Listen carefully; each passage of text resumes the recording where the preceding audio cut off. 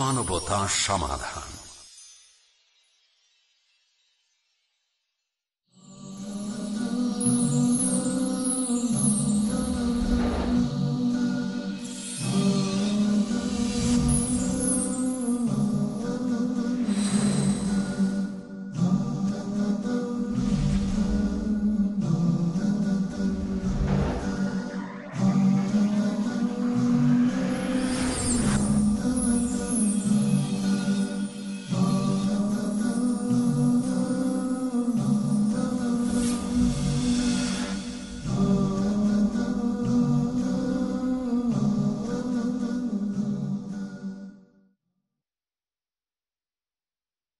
আসসালামু আলাইকুম রহমতুল্লাহ আলহামদুলিল্লাহ ওয়াহদা والصلاة والسلام على من لا نبي بعده أعوذ بالله من الشيطان الرجيم ولتكن منكم أمة يدعون إلى الخير ويأمرون بالمعروف وينهون عن المنكر عن أبي سعيد الخدري رضي الله تعالى عنه قال কাল রসুল্লাহ সাল্লাহ আলী ওসাল্লাম মান রামিনকুম মুন কারান ফালিগিরুহু বিয়েদিহি ফাইনলাম ইয়াস্তাতে ফাবে লিসানিহি ফাইনলাম ইয়াস্তাতে ফাবে কালবিহি ওয়াজালিকা আদ আফুল ইমান রাহ মুসলিম। সম্মানিত দর্শক মণ্ডলী, প্রশংসা আল্লাহর জন্য। শান্তি অবতীর্ণ হোক আল্লাহ রাসুলের উপর সাল্লাহ আলি ওসাল্লাম পরিবারের মালিক এবং পরিবারের ছেলেমেয়ে সকলকেই ভালো কাজের আদেশ এবং মন্দ কাজের নিষেধ করার বিষয়টি পরস্পরে জোরালোভাবে গ্রহণ করতে হবে।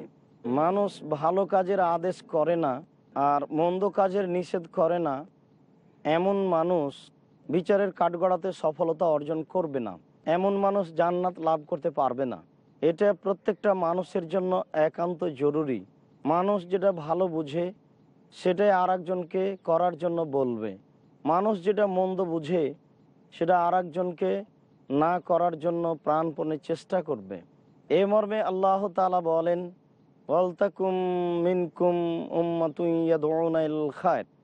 অবশ্যই তোমাদের মধ্যে এমন একটি দল হবে যারা মানুষকে কল্যাণের দাওয়াত দিবে।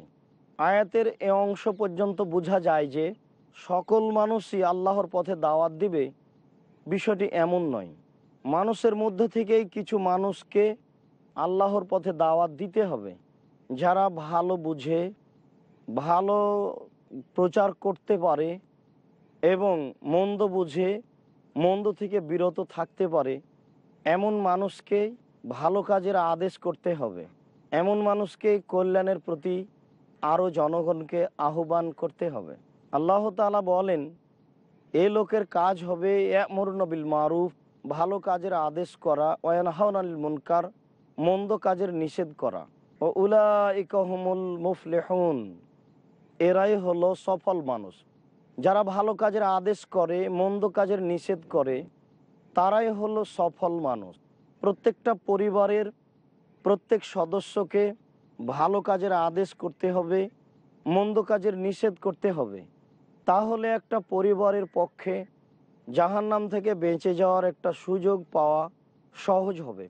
তাছাড়া জাহান্নাম থেকে বাঁচার কোনো পথ মানুষের হবে না। এ মর্মে আল্লাহ তালা বলেন মেনুন মেনাত বাজুহুম আউলিয়া ও বাজ মোমেন পুরুষ, মোমেন নারী, পরস্পরে বন্ধু শুভাকাঙ্ক্ষী।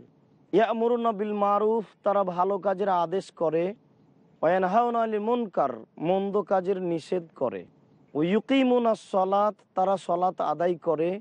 ওই উতুনা জাকাত তারা জাকাত প্রদান করে। ওই ইতুন আল্লাহ তারা আল্লাহর আনুগত্য করে আর তার রাসুলকে মান্য করে। এরাই হলো সফল মানুষ। আল্লাহ তালা অত্র আয়াতে সকল নারী পুরুষকেই ভালো কাজের আদেশ করার জন্য আর মন্দ কাজের নিষেধ করার জন্য জোরালোভাবে আদেশ করেছেন। তিনি বলেন, মোমেন পুরুষ, মোমেন নারী পরস্পরে বন্ধু শুভাকাঙ্ক্ষী। অবশ্যই একজন আর একজনের কল্যাণ কামনা করবে। অবশ্যই একজন আর একজনের হিতাকাঙ্ক্ষী হবে। এ কারণেই তো নবী করিম সাল্লাহ আলি সাল্লাম বলেছেন, আল মুমিন লিল কালবুনিয়েন। একজন মমিন আর একজন মমিনের জন্য প্রাসাদ স্বরূপ। যেমন প্রাচীরের একটা ইঁট আর একটা ইঁটের সাথে লেগে থাকে, ঠিক একজন মমিন আর একজন মমিনের সাথে কল্যাণে পরস্পরে লেগে থাকবে। একজন আর একজনের অকল্যাণ কিছু বুঝতে পারলে তা অবশ্যই বন্ধ করার বা নিষেধ করার প্রাণপণে চেষ্টা করবে। এটাই হচ্ছে পরস্পরে মমিন পুরুষ বন্ধু শুভাকাঙ্ক্ষী। রাসুল সাল্লাহ আলী হাসাল্লাম বলেন, আল মুমিন লিল ওয়াহেদ। একজন মানুষ আর একজন মানুষের সাথে একজন মানুষের মতো। একজন মমিন আর একজন মমিন, দুইজন মিলে যেন একজন। সারা পৃথিবীর মোমেন একজন মানুষ। আল মেনুন কারাজুলিন ওয়াহিদ। সারা দুনিয়ার মোমেন হচ্ছে একজন মানুষ। ইনিস্তাকায় আইনহু ইস্তাকা কুল্লহু। যদি তার চোখে ব্যথা করে, তাহলে সম্পূর্ণ শরীরে ব্যথা করে।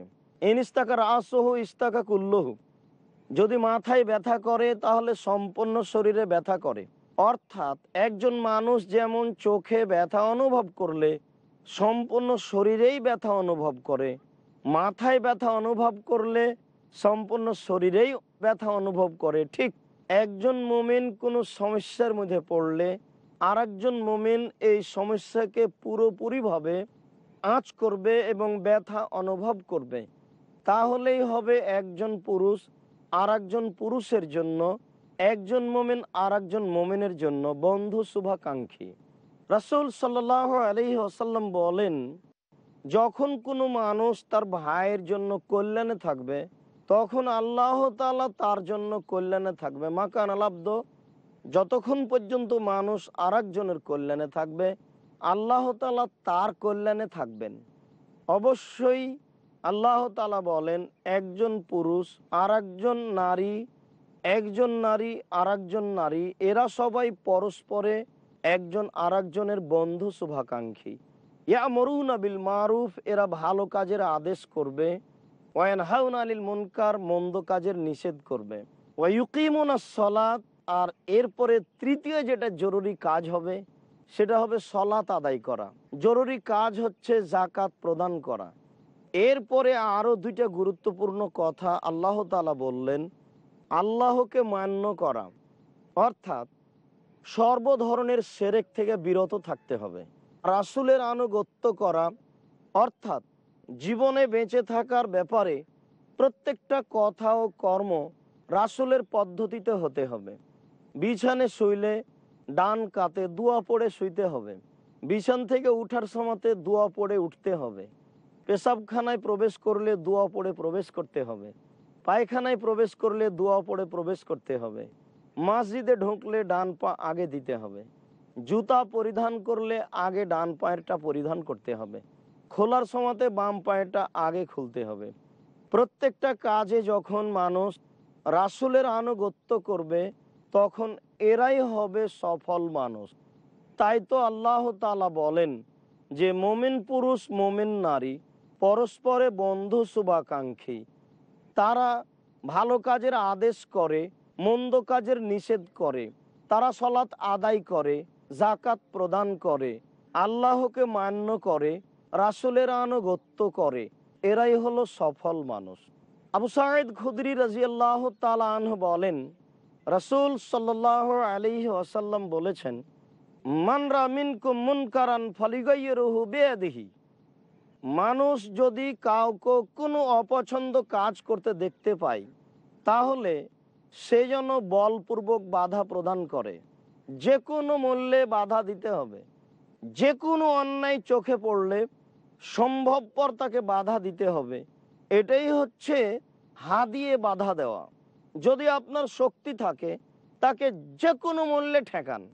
রাসুল সাল্লাহ আলি সাল্লাম বললেন উনসুর আখা কাজলে মন মজলুম, তোমরা তোমাদের ভাইকে সাহায্য করো অত্যাচারী হলেও, অত্যাচারিত হলেও সাহাবিগণ বললেন, আল্লাহর নবী, অত্যাচারিত ব্যক্তিকে না হয় সাহায্য করব, বিপদে পড়েছে, যতদূর পারি সহযোগিতা করব। কিন্তু যে ব্যক্তি অত্যাচার করছে, তাকে সহযোগিতা কীভাবে করব।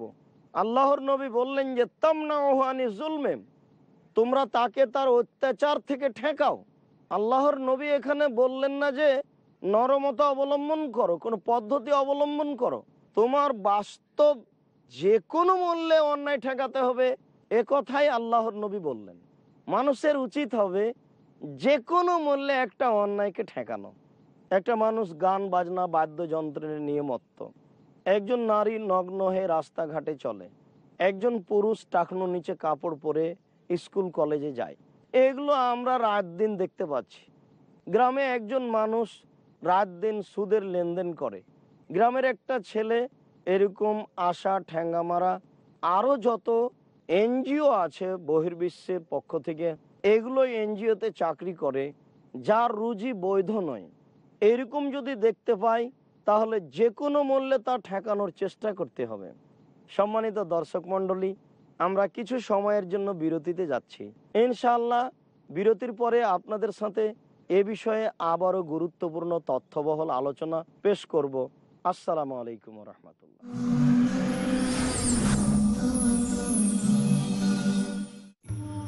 إنه من يشرك بالله فقد حرم الله عليه الجنة ومأواه النار নিশ্চয়ই যে আল্লাহর সাথে শিরকে লিপ্ত হয় আল্লাহ তার জন্য জান্নাতকে হারাম করে দেন এবং জাহান্নাম অবধারিত করে দেন। শহীদুল্লাহ খান মাদানী। জান্নাতে যাওয়ার এবং জাহান্নাম হতে বাঁচার একটি মাত্র পথ তাওহীদ। আল্লাহ সুবহানাহু ওয়া তাআলার তাওহীদ জানার জন্য দেখুন আমার ধারাবাহিক দাস কিতাবুত তাওহীদ। দেখুন কিতাবুত তাহিদ প্রতি রোববার মঙ্গলবার ও শুক্রবার। রাত এগারোটায় বা পুনঃ সম্প্রচার সকাল দশটায় বাংলাদেশে ইস টিভি বাংলায়। দ্বিধা, দ্বন্দ্ব, মূল্যবোধের অভাব, প্রকৃত বিশ্বাসের অভাব, অসচেতন জীবনযাপন। ধর্মকে ভুলভাবে তুলে ধরা, ধর্মীয় গ্রন্থের পরিবর্তন এবং সংস্করণ যথাযথ তথ্য পেতে সকল ক্ষেত্রে আমি সংগ্রাম করছি, সত্য প্রকাশ করতে। কারণ এটা যেন আপনার অধিকার আর আমার দায়িত্ব সত্যটা বলা। দেখুন সত্য উন্মোচন প্রতি শুক্রবার থেকে বুধবার রাত নটায় আর পুনঃ সম্প্রচার। সকাল সাড়ে সাতটায় বাংলাদেশে পিস টিভি বাংলায়। এমন ঘটনা যার মধ্যে নিহিত আছে আল্লাহর নির্দেশ। কোরআনের ঘটনা যে ঘটনা অত্যন্ত শিক্ষণীয়। ইমানকে শুদ্ধ করার জন্য তৌহিদকে প্রতিষ্ঠা করার জন্য শিরককে উচ্ছেদ করার জন্য। দাউদ আলাহিসাল্লামকে রাজত্ব দিলেন জ্ঞান দিলেন তাকে মনোনীত করলেন। তোমরা ইমান আনো যেমন তারাই মেনে নিয়েছিলেন কোরআন সন্না যখন যেটা বলবে সেটা মেনে নেওয়া। আল্লাহর উদ্দেশ্য আল্লাহর হুকুম মানো কিনা?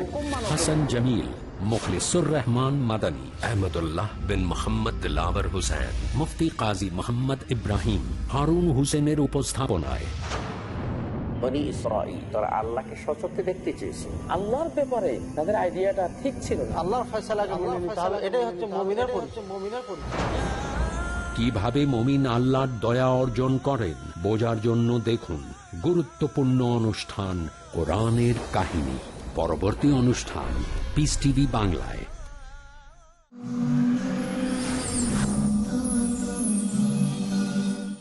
আসসালামু আলাইকুম রহমতুল্লাহ সম্মানিত দর্শক মণ্ডলী, আপনারা অপেক্ষায় বসে আছেন এই জন্য আমরা আপনাদের শুক্রিয়া আদায় করি। জাজাকুমুল্লাহ খায়ের। আল্লাহ আপনাদেরকে উত্তম প্রতিদান দান করুক। আল্লাহ আপনাদেরকে এইগুলি বুঝে, জেনে, আমল করার তৌফিক দান করুক। আমরা এটাই অন্তর থেকে কামনা করি। রসুল সাল্লাহ আলী আসাল্লাম বলেন মানুষ যে কোনো অন্যায়কে জোরপূর্বক বাধা দিবে। সম্ভব না হলে সে মুখে বাধা দিবে। ফাইনলাম এস্তাতে ফবে লেসানিহি যদি হা দিয়ে ঠেকানো সম্ভব না হয়, তাহলে মুখে বলতে হবে। অবশ্যই তাকে এটা অন্যায়, এ কথা মুখে প্রচার করতে হবে। এ কথা মুখে প্রচার না করে কোনো মানুষ যদি দুনিয়া থেকে বিদায় নেয়, তাহলে তার পরকাল সফল হবে না। এবং তার পরিবার পরকালের সফলতা অর্জন করতে পারবে না। প্রত্যেকটা পরিবারের মালিককে এবং পরিবারের সদস্যকে এ ব্যাপারে সতর্ক সাবধান হতে হবে যে যে কোনো অন্যায়কে যদি সম্ভব না হয় জোর করে ঠেকানো, তাহলে অন্তত মুখে বলে তা প্রাণপণে ঠেকানোর চেষ্টা করতে হবে। এটা জরুরি। আর আল্লাহ তালা এই বিধান দিয়েছেন। আল্লাহর নবী এই বিধান দিয়েছেন।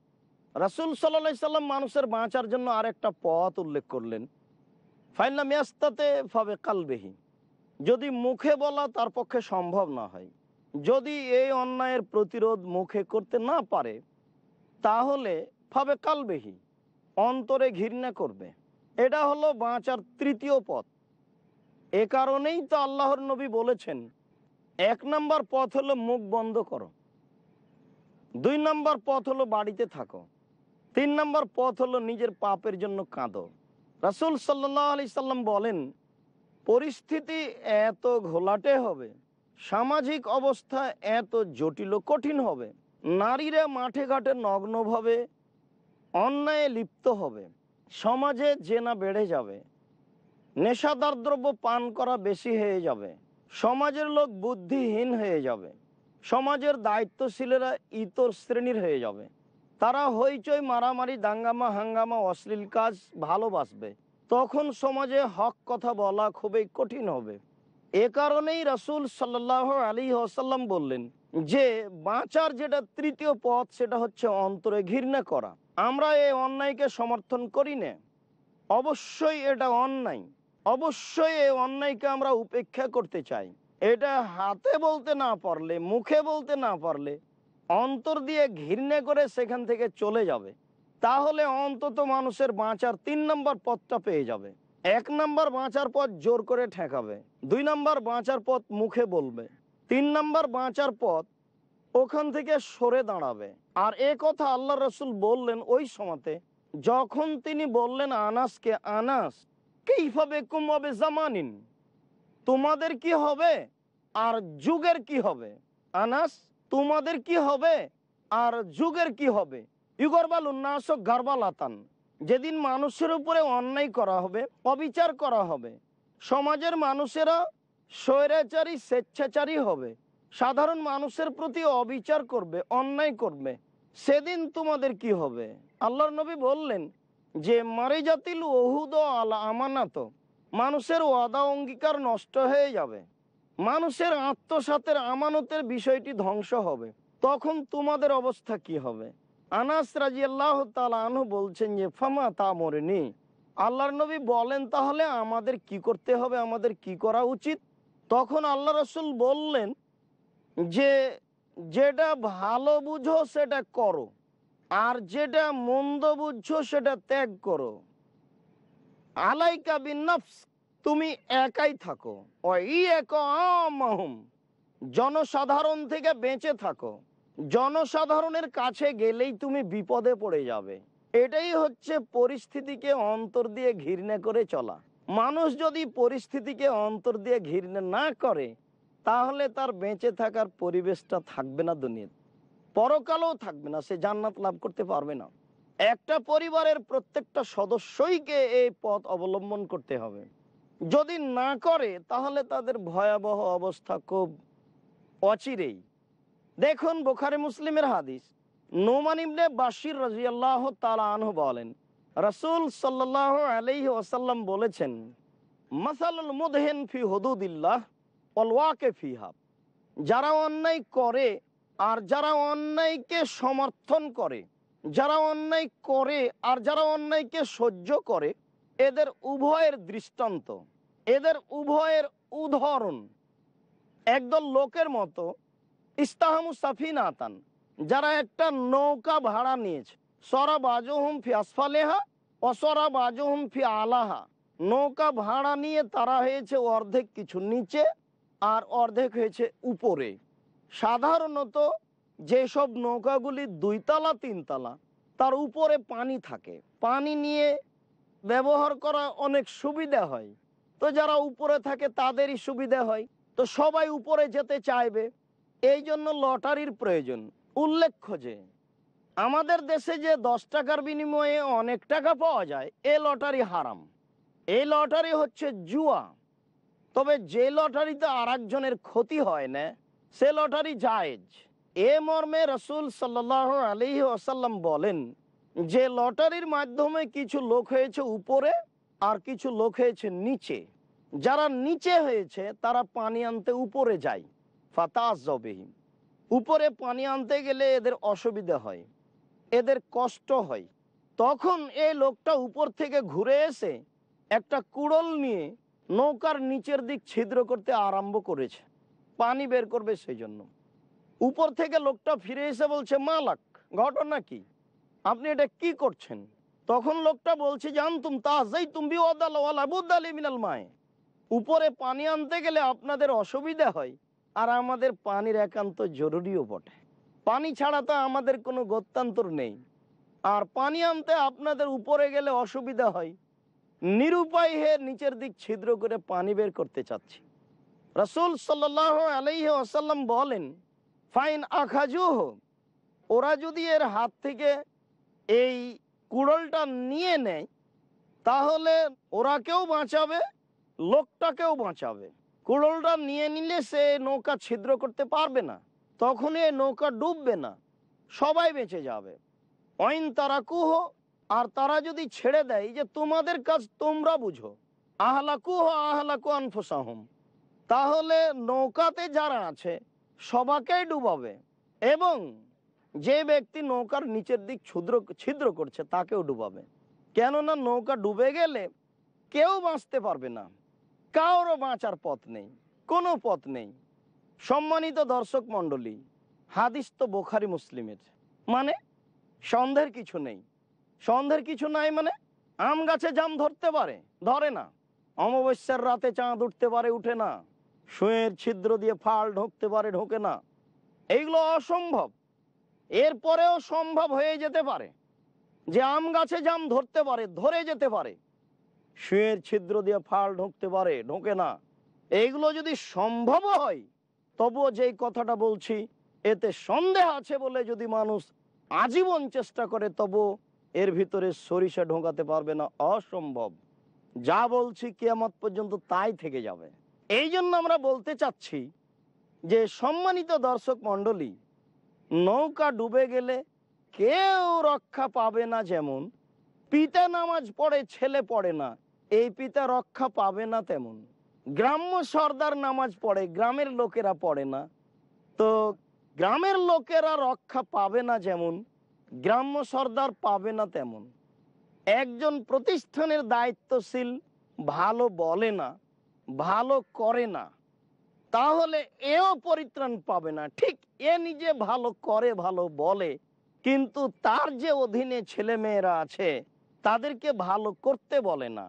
তো নৌকা ডুবে গেলে কেউ বাঁচবে না যেমন, এই নেতা নিজে ভালো হয়ে বাঁচতে পারবে না তেমন, সবাই ধ্বংস হয়ে যাবে। এই জন্যই রসুল সাল্লাহ আলি সাল্লাম বলছেন যে, পরিবারের প্রত্যেক সদস্যকেই সৎ কাজের আদেশ করতে হবে। অসৎ কাজের নিষেধ করতে হবে। সকলকেই ভালো বিষয়টি গ্রহণ করতে হবে, মন্দ বিষয়টি পরিহার করতে হবে। রসুল সাল্লাহ আলী ওসাল্লাম বলেছেন সৈয়দুসহদায় হামজা ইবনা আব্দুল মোত্তালেব। শহীদদের সর্দার হচ্ছেন হামজা ইবনা আব্দুল মোত্তালেব। আমাদের সবার জানা থাকা ভালো। পৃথিবীতে সবচেয়ে বড় শহীদ হচ্ছেন হামজা ইবনা আব্দুল মুত্তালেব। পৃথিবীর কোন মানুষ হামজা ইবনা আব্দুল মুত্তালেবের সমমর্যাদার শহীদ নয়। এরপরে তিনি বলেন মান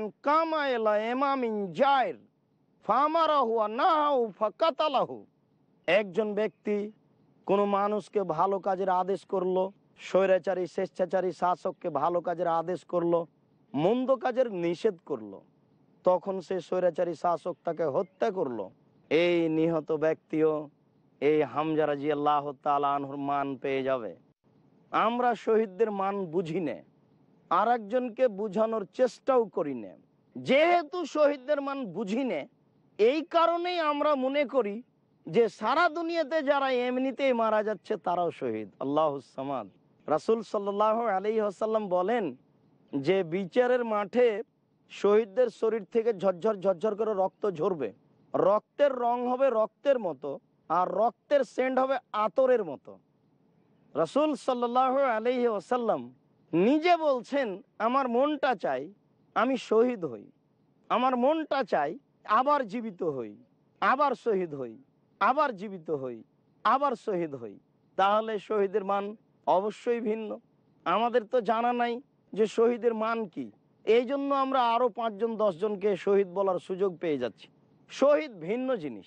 কেয়ামতের মাঠে শহীদদের চেয়ে কোনো মানুষ বেশি মান অর্জন করতে পারবে না। যে কোনো বিনিময়ে যে কোনো মাধ্যম দিয়ে মানুষ শহীদের মান, মর্যাদা অর্জন করতে পারবে না। যদি তো রসুল সাল্লা সাল্লাম বলেছেন যে আল্লাহর পথে শহীদ ব্যতীত আরও সাতজন শহীদ আছে, তার একজন হচ্ছে আল মাবতুন শহীদ। যে ব্যক্তি পেটের অসুখে মারা গেল, সে ব্যক্তি শহীদ। সম্মানিত দর্শক মণ্ডলী, আমরা সৎ কাজের আদেশ আর অসৎ কাজের নিষেধ করার কথা বলতে গিয়ে বলছিলাম যে সবচেয়ে বড় শহীদ হচ্ছেন হামজা রাজি আল্লাহ এরপরে যারা ভালো কাজের আদেশ করবে, মন্দ কাজের নিষেধ করবে, এমত অবস্থায় এই মানুষকে কেউ যদি হত্যা করে, তাহলে এই মানুষও হবে হামজা রাজি আল্লাহ তালাহর সাথে। আল্লাহ, তুমি আমাদের পরিবারের সকলকে ভালো কাজের আদেশ, মন্দ কাজের নিষেধ করার তৌফিক দান করো। এ দাবি, এ দাওয়া তোমার দরবারে রেখে সংক্ষিপ্ত আলোচনা আমরা এখানেই শেষ করছি। সুহানাক আল্লাহ আবহামদিকা আশাহাদ আল্লাহ আস্তাক আসসালামু আলাইকুম রহমতুল্লাহ।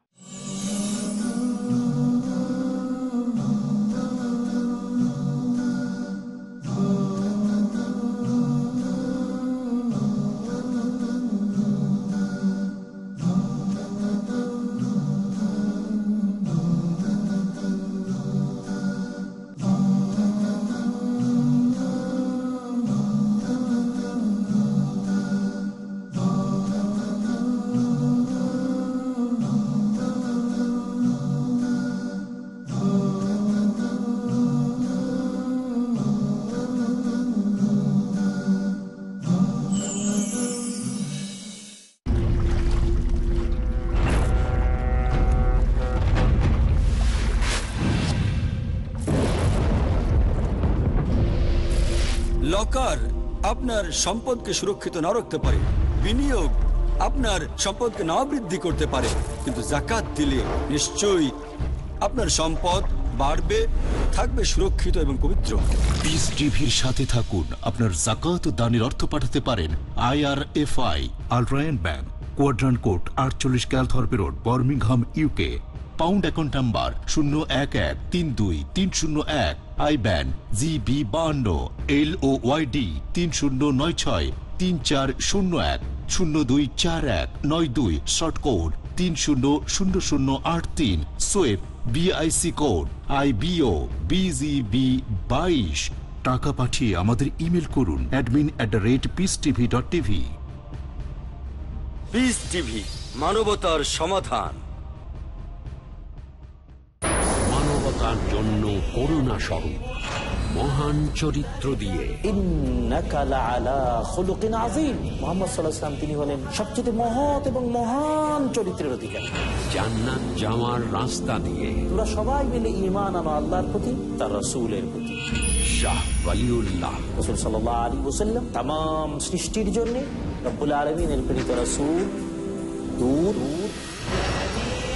কেন?